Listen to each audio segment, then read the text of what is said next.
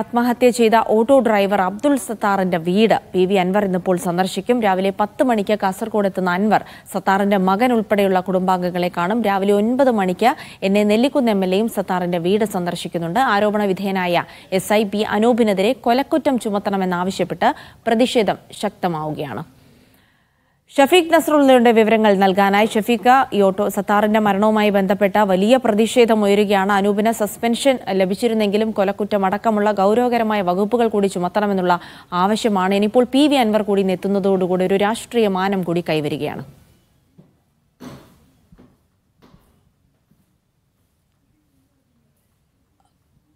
തീർച്ചയായും നഗരത്തിൽ ഗതാഗത സ്തംഭനമുണ്ടാക്കുന്ന സ്വഭാവത്തിൽ ഓട്ടോ പാർക്ക് ചെയ്തു എന്നാരോപിച്ചാണ് സത്താറിന്റെ ഓട്ടോറിക്ഷ കാസർഗോഡ് പോലീസ് കസ്റ്റഡിയിലെടുത്തിരുന്നത്. അഞ്ച് ദിവസം ആണ് കസ്റ്റഡിയിൽ വെച്ചത്. അതുവരെയും ഓട്ടോറിക്ഷ വിട്ടുകൊടുക്കാത്തതിലുള്ള മാനസിക പ്രയാസത്തിൽ ഫേസ്ബുക്കിൽ വീഡിയോ പോസ്റ്റ് ചെയ്തതിന് ശേഷമായിരുന്നു സത്താർ ആത്മഹത്യ ചെയ്തിരുന്നത്. അതിന് പിന്നാലെ വലിയ പ്രതിഷേധങ്ങളുണ്ടായി. കാസർഗോഡ് സ്റ്റേഷനിൽ എസ് ഐ ആയിരുന്ന അനൂപിനെ ആ, ചന്തേര പോലീസ് സ്റ്റേഷനിലേക്ക് സ്ഥലം മാറ്റി. സ്ഥലം മാറ്റം കൊണ്ടും പ്രതിഷേധം തണുത്തില്ല. കടുത്ത നടപടികൾ ഉണ്ടാവണം എന്നതായിരുന്നു പ്രതിഷേധക്കാരുടെ ആവശ്യം. അതിന് പിന്നാലെ സസ്പെൻഡ് ചെയ്തു. സസ്പെൻഡ് ചെയ്തതും ഈ കൊലക്കുറ്റത്തിന് കേസെടുക്കണമെന്നും സർവീസിൽ നിന്ന് പിരിച്ചു വിടണം എന്നും ആവശ്യപ്പെട്ടുകൊണ്ടുള്ള സമരം ശക്തമാവുകയാണ്. അതിനിടയിലാണ് ഇന്ന് രാവിലെ പത്ത് മണിയോടുകൂടി തന്നെ P V Anvar M L A Kasaragod എത്തുന്നുണ്ട്. ഏറ്റവും പ്രധാനപ്പെട്ട P V M Anvar M L എയുടെ പരിപാടിയും ഈ സത്താറിന്റെ കുടുംബാംഗങ്ങളുമായുള്ള സംസാരമാണ്. കാസർഗോഡ് ഗസ്റ്റ് ഹൗസിലാണ് അത് സംബന്ധിച്ച് കുടുംബാംഗങ്ങളെ ക്ഷണിച്ചിട്ടുള്ളത്. മകൻ ഉൾപ്പെടെയുള്ള കുടുംബാംഗങ്ങൾ പത്ത് മണിയോടുകൂടി തന്നെ കാസർഗോഡ് ഗസ്റ്റ് ഹൗസിലെത്തും എന്ന് അറിയിച്ചിട്ടുണ്ട്. P V Anvar M L A പത്ത് മണിയോടുകൂടി തന്നെയാണ് കാസർഗോഡ് എത്തുക. വിവിധ വിഭാഗങ്ങളുമായും ഇന്ന് കാസർഗോഡ് വെച്ച് P V Anvar M L A സംസാരിക്കുന്നുണ്ട്. ഓട്ടോ റിക്ഷ ഡ്രൈവർമാർ P V Anvar M L A കാണും എന്നറിയിച്ചിട്ടുണ്ട്. നിരവധി ഓട്ടോ റിക്ഷ ഡ്രൈവർമാരാണ് പോലീസിന് പരാതിയുമായി രംഗത്ത് വന്നത്. ഇതിന് പിന്നാലെ തന്നെ നൌഷാദ് എന്ന ഓട്ടോറിക്ഷ ഡ്രൈവർ കാസർഗോഡ് നഗരത്തിൽ ഓട്ടോ ഓടിക്കുന്ന ഡ്രൈവറിനെ അകാരണമായി മർദ്ദിക്കുന്ന ഒരു ദൃശ്യം പുറത്തു വന്നിരുന്നു.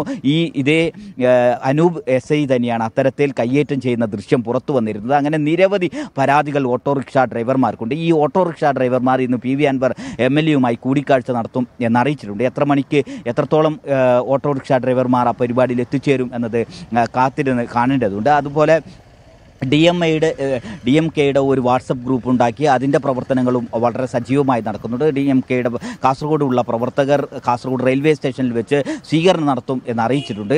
പത്ത് മണിയോട് കൂടിയാണ് കാസർഗോഡ് എത്തിച്ചേരുക. എന്നെ നിലക്കുന്ന എം എൽ എ നിയമസഭ കഴിഞ്ഞ് ഇന്നലെ രാത്രിയോട് കൂടിയാണ് കാസർഗോട്ടേക്ക് തിരിച്ചെത്തിയത്. ഇന്ന് രാവിലെ ഒൻപത് മണിയോടുകൂടി സത്താർ ഓട്ടോ ഡ്രൈവർ സത്താറിന്റെ വീട് സന്ദർശിക്കും എന്ന് എന്നെ നെല്ലിക്കുന്ന എം എൽ എയും അറിയിച്ചിട്ടുണ്ട്. എട്ടര മണിയോടുകൂടിയാണ് ഇവിടുന്ന് എന്നെ നെല്ലിക്കുന്ന എം എൽ എ സത്താറിന്റെ വീട്ടിലേക്ക് പുറപ്പെടുക അവിടെ വെച്ച് കുടുംബാംഗങ്ങളുമായി സംസാരിക്കുക. ഏറ്റവും പ്രധാനമായി ഉയർത്തുന്ന ഒരു കാര്യം വളരെ സാധാരണക്കാരാണ് പാവങ്ങളാണ്. അവരുടെ അവർക്ക് നഷ്ടപരിഹാരം ലഭ്യമാക്കണം. അവരുടെ കുടുംബത്തിന് ആവശ്യമായ സൗകര്യങ്ങൾ ഒരുക്കണം സർക്കാർ എന്ന ആവശ്യമാണ്.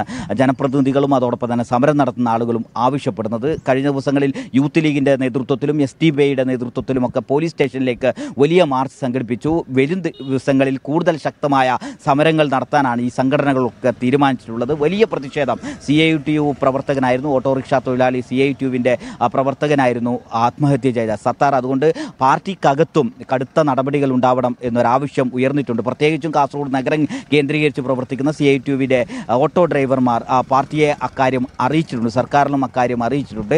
വലിയ രൂപത്തിലുള്ള ഒരു സമ്മർദ്ദം പാർട്ടി തലത്തിലും നടക്കുന്നു. അതിന്റെ ഭാഗമായാണ് സ്ഥലം മാറ്റിയിരുന്ന അനൂപിനെ സസ്പെൻഡ് ചെയ്യുന്ന നടപടിയിലേക്ക് കടന്നത്. കൊലക്കുറ്റത്തിന് ആത്മഹത്യ പ്രേരണ കുറ്റം ചുമത്തണം എന്നുകൂടിയുള്ള ഒരാവശ്യം സി ഐ ടി ഓട്ടോ വിഭാഗത്തിലുള്ള ആളുകൾ അടക്കമുള്ള ആളുകൾ ഇപ്പോൾ ആവശ്യപ്പെടുന്നുണ്ട്. വലിയ ഒരു സമരം വരും ദിവസങ്ങളിൽ കടുത്ത നടപടിയിലേക്ക് സർക്കാർ കടന്നില്ലെങ്കിൽ ഉണ്ടാവും എന്ന് തന്നെയാണ് സമരക്കാർ പ്രതിഷേധക്കാർ അറിയിക്കുന്നത്.